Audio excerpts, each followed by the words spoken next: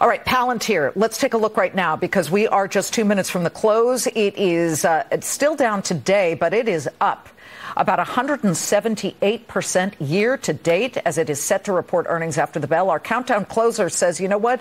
While Palantir does business with the U.S. government, he likes pure play defense names. Joining me now, Blanke Schein. He is uh, Blanke Schein. He's wealth management CIO of Robert Schein. Good to see you very much. All right, what, what are the names? What do you like here?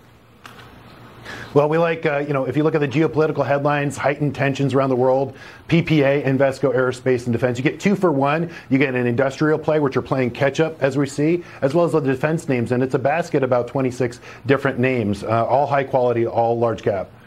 But, Robert, uh, you know, do we need a war to see these things do well?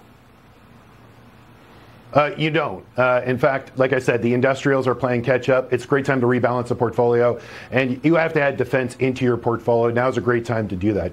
Well, PPA, here it is on the screen. It is up about 15%. Uh, is this over one year? Um, quick mention: Do you do you like the market here, or are you waiting for a pullback? You know, always keep powder dry. We like energy here very specifically. Uh, if you look at all the earnings uh, energy calls right now, it's a great opportunity to add energy to your portfolio as well. Uh, so industrials and energy is a great, a good spot to be in right now moving forward. Robert Schein picking the unloved sector of last year.